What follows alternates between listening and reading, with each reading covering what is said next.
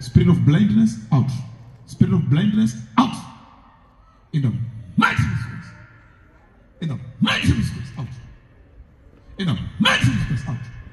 By the fire of the Holy Spirit. In Jesus' name, be free. Thank you, dear Father. Thank you, dear Lord. Urida. Zinoba kuboni sa. Aklia. Ha! Arda ah! kwa fire. Fire. Bakemini. Situzikli and commanders of the day. Mipuri China! Those who are watching by issue of social media, wherever you are, be healed of your sickness, be healed of your disease, be healed, be healed, be healed, be healed in Jesus Christ's mighty name. Be healed wherever you are in the name of Jesus Christ. Hallelujah. vakuri vakuita milivona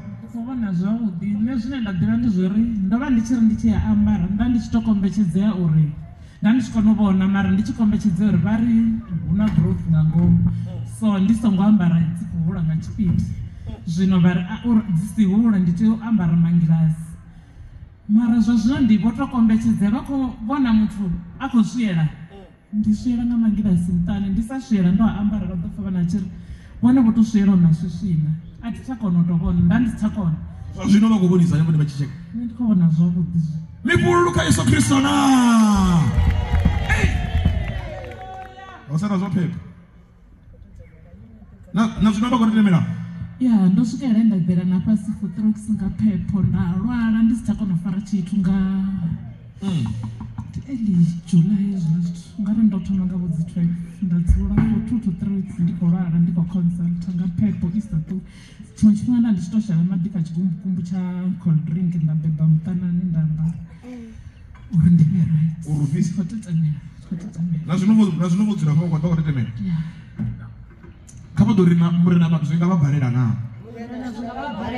vato ri murina zvinga va bvalela na zvinga swi va bvalela na rutihi amen uri ni mudzimu vonofodza uri navodzira vanhu zvino ri kwambe kwakwatete mene phepo ine ine vaifa ndinga zvo machipa yavalamba ndikho vadyela vatovori vava kudzimananga zvino hei zvo phepo zvigokuwarwa chote namusi azvotereva zvakonera kambiri wavo zvivi zvoti minenga chikwa zvivuradzi yapemo arthritis zvikoswanga arthritis arthritis pepo i ndina arthritis ndipfesa pepo okay bafunzi ndikombera chibhayi vakovafaivakonombera nechibhayi kuti vatuzo hei pepoyi vakuipfalaupedzisera namusi is the last day vachikozvipa muvirini wavo kadhoriwe muya wapepo iwe mulwadze muno kho vanga phepho uwavalitshedze nga dzina la jesu uwavalitshedze nga dzina la jesu ulitshedza marambo avo ulitshedza dzitsinga dzavo nga dzina la jesu yo spirit of sickness go in the name of jesus go and return